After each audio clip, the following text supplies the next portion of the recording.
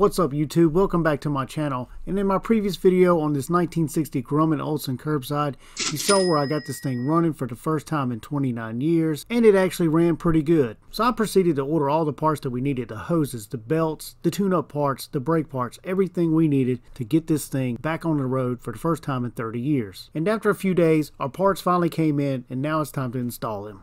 Here are the parts that I ordered, and these are the typical parts that you need to change after any vehicle has been sitting any length of time.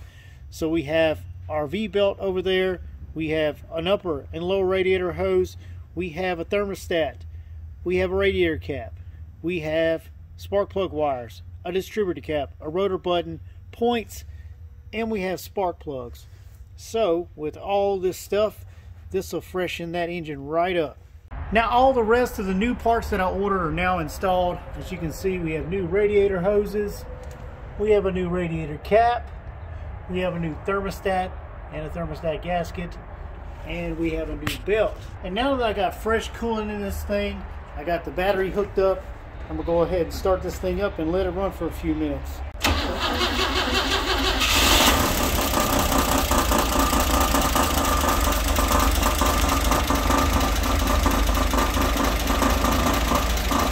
That rattling noise is the valve cover. I need to put the bolts back in it. So what I'm going to do is I'm going to let this thing run for a little bit, get the operating temperature, check to make sure we don't have any kind of leaks anywhere, and uh, just see how well this thing runs.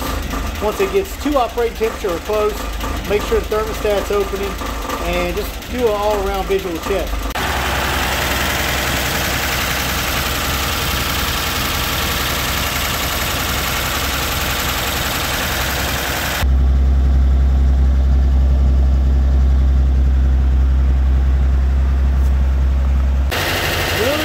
running pretty good, but as you can see, we got a little issue. We do have a little water leak, and judging by where that water leak is coming from right there, that's possibly the water pump. We're just going to have to investigate that uh, when we shut this thing off. As you can see, this thing actually idles pretty well, and it actually does take fuel pretty good too. So that's always a good sign. Nice temperature for a cylinder head there.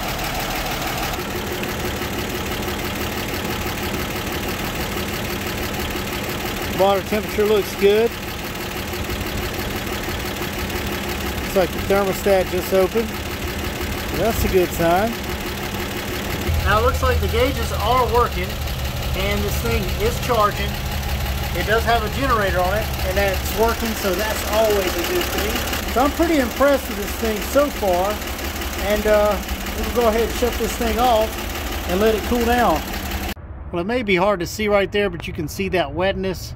That's definitely the water pump leaking. And I'm to have to replace that, which means this radiator has to come out. That's a little bit extra work that I didn't plan on doing, but with something that's been sitting this long and you don't know anything about it, it's just one of those things you have to deal with.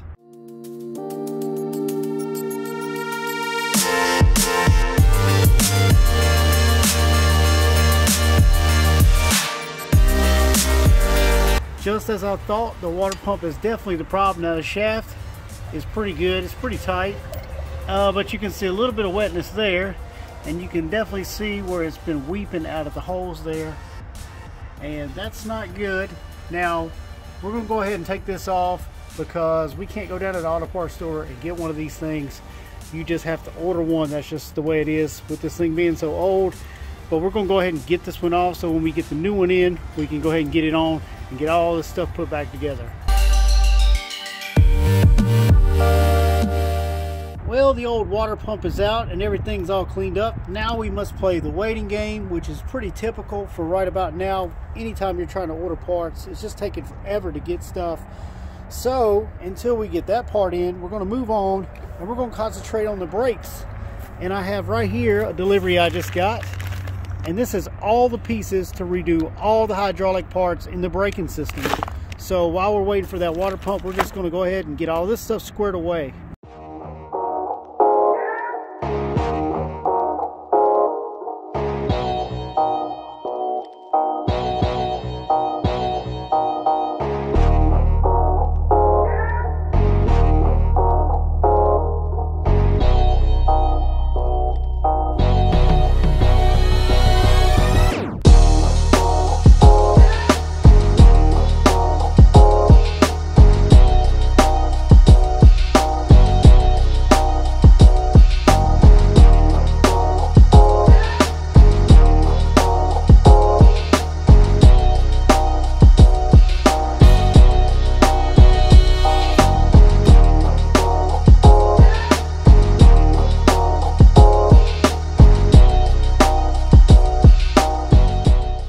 Brakes are all back together and these were a little harder than what I thought they were going to be. It wasn't too bad, but I wasn't expecting to have to pull this hub off just to get the wheel cylinder out.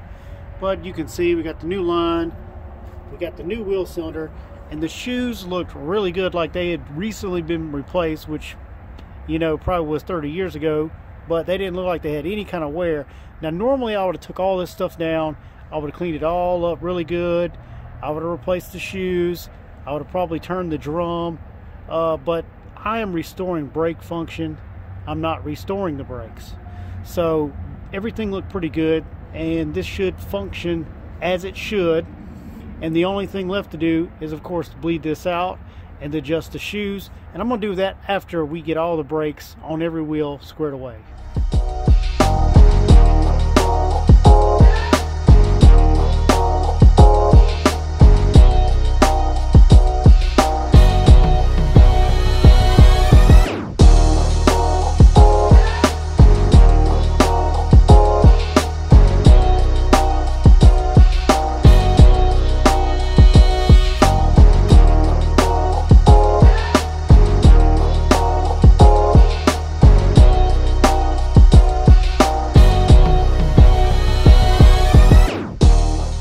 Have both sides squared away and I'm back here in the back working now.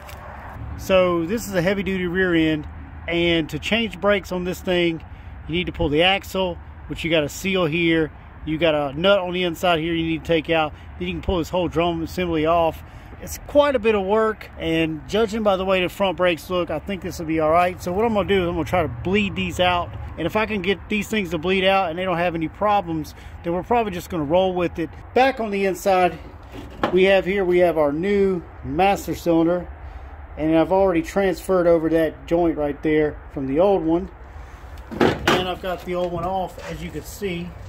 Now it bolts right here and this is uh, your connector right here where your lines go in. We need to bench bleed that thing and then we can get it on here. So that's really where we're at right now. We're to try to get some of that stuff squared away. While I've been making great progress on this project, ordering parts has been a definite setback. So until next time when we get that water pump in and we finish up the brakes, I would like to say thank you for watching. Be sure to check out all my other videos on my other projects. And if you're not subscribed to my channel, be sure to click the subscribe button, click the bell so you'll get the notification. And you can also follow me on Facebook and Instagram.